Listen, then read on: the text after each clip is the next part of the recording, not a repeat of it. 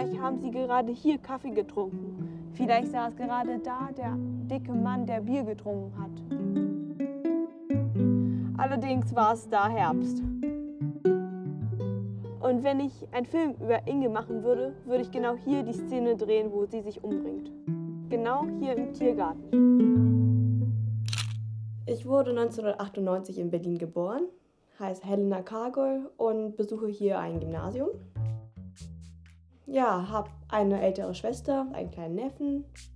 Wir wohnen in Berlin. Meine Eltern sind hier vor ungefähr uh, 28 Jahren hergezogen. Ähm, ich fühle mich ein Europäer. Also ich bin aus Europa. Ich komme aus gar keinem Land. Wie Sie sehen, hinter mir mein ganzes Leben. Meine Urgroßmutter und Inge und mein Opa, der mir als kleines Kind Gedichte vorgelesen hat. Dank ihm habe ich angefangen, Gedichte zu lesen. Danke, Opa. Ich träume auf jeden Fall, später etwas mit Film und Theater zu tun zu haben. Goczynski hat Inge nur einmal getroffen und einmal mit ihr geredet. Und dann hat er viele Monate später das Gedicht geschrieben. Inge Barth habe ich auf Polnisch gelesen, dank meiner Mutter, die mir das Gedicht vorgestellt hat. Doch die deutsche Fassung ist auch sehr gut. Konstanty Ildefons Goczynski. Inge Bartsch. Sie war rothaarig, aber nicht völlig. Ein gewisser Glanz umspielte ihr Haar. Sie liebte mit Fink. Fink war Regisseur und ein blasierter Salonkommunist. Solche gibt's auch bei uns in der Masowiecka. Und Inge? Inge hatte etwas Deutsches in sich. Diesen Akzent im Wort Mond. Der Mond. Im Monde. Fink aber war ein Dummkopf und blond. Eine einfache Geschichte. Ich kam gerade aus Polen. Berlin, Berlin, Regen. Der eiserne Friedrich drückte mir wie eine Verdauungsstörung aufs Herz. Langeweile.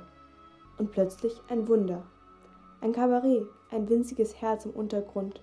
Ein Lied erklingt, der Autor heißt Kurt Tucholsky. Ich sehe, Inge sitzt am Klavier. Sie singt und spielt. Ach, wie schön muss sie sein, wenn sie aufsteht. Sie stand auf. Sie hatte kleine, vollkommene Brüste. Und verzeihen Sie mir bitte, ihr Bauch wölbte sich so wundervoll unter dem Kleid, dass ich zu applaudieren anfing und rief, es lebe der Bauch. Ein Sommer verging, ein Herbst und ein Winter und noch ein Frühling und noch so ein Sommer, bis eines Tages ganz plötzlich ein Staatsstreich, Coup d'etat und alles spielte sich ab wie auf der Bühne. Ich saß mit Inge im Tiergarten und Herbst in Berlin im Tiergarten, das sind meine Herrschaften solche Töne. Von den Bäumen dampfte der Nebel, der Wind tief wie ein Bass. Da sagte Inge auf einmal, wissen Sie was? Sie hatte so etwas an der Stimme oder den Zähnen. Wissen Sie was? Das Leben ist mir langweilig geworden. Hm. Ich schaute sie an, mit einer Zigarette im Mund ich bin nicht Wispiański, doch wie dem auch sei, ihr Ausspruch rührte mich an. Zu spät. Der Revolver war nicht größer als eine Rose. Klick! Und Inge ging auf die Reise. Ins Udelar, in die deutsche Metaphysik. Ein dicker Biertrinker zuckte nicht mehr zusammen und war nicht verwundert, denn so ein Klick, da konnte sich nur ein Kind umgebracht haben. Und hinterher hatte sie noch längere Wimpern. Die Leiche roch nach Herbst, schwarzem Kaffee, Pilzen und Nonsense. Inge Bartsch war perfekt für mich, also so wie für mich geschrieben. Ich habe angefangen, mich mit dem Gedicht verbunden zu fühlen, als ich diesen Satz über ihre Haare gelesen habe. Äh, da in dem Gedicht von Gauczynski, Inge Bartsch hat sich das Leben genommen nach dem Staatsstreich. Also, wenn ich einen Film aus dem Gedicht machen würde, würde ich mich erstmal auf den Weg machen und in Berlin die Atmosphäre der 30er Jahre finden. Die Atmosphäre der damaligen Zeit wird sehr gut im Film Der blaue Engel und Cabaret abgespielt.